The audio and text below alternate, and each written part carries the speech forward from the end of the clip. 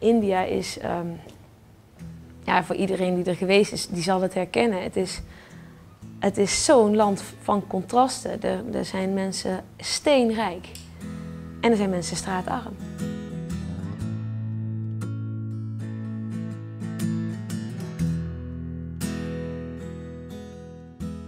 Kinderen die bedelen terwijl er eh, mensen met, met, met dikke auto's voorbij rijden en in paleizen wonen.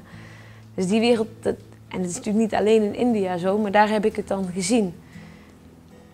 Ja, en dan is verwondering niet meer het goede woord misschien. Terwijl als je, als je ziet wat voor veerkracht sommige mensen hebben, ook die daar wonen, die geen geld hebben, die geen huis hebben, die veel verloren hebben vaak, ook uh, uh, dierbaren uh, verloren hebben, en die nog steeds over veerkracht beschikken. We zijn een tijd in een, in een kinderhuis geweest, daar hebben we wat dagen doorgebracht en met die kinderen gespeeld. Het is niet te geloven wat sommige kinderen meegemaakt hebben, maar hoe ze toch nog zichzelf overeind houden. En er zijn ook kinderen die dat niet meer kunnen.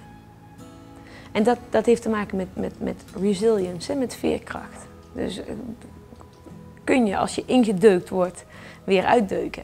Ben je daartoe in staat? En als je ziet dat sommige kinderen dat kunnen na, in, echt, in, echt afschuwelijke uh, omstandigheden.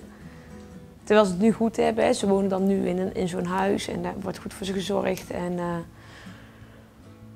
maar dat zijn kinderen die hun ouders hebben zien sterven of die uh, uit de familie gestoten zijn omdat ze bijvoorbeeld iets gestolen hebben om, omdat er geen geld was. Of vervolgens door, door die hele familie niet meer geaccepteerd worden. En die dan toch nog daar in staat zijn om contact met jou te maken, om jouw vragen te stellen, om uh, hun kleding netjes te verzorgen, om een baantje te zoeken.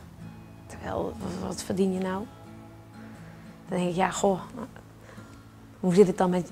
Dan, dan komt de vraag meteen weer bij jezelf, hoe zit het met mij? Hoe zit het met mijn veerkracht? Wat doe ik als het tegen zit? Ga ik bij de pakken neerzitten of ben ik ook in staat om, om me weer overeind te helpen?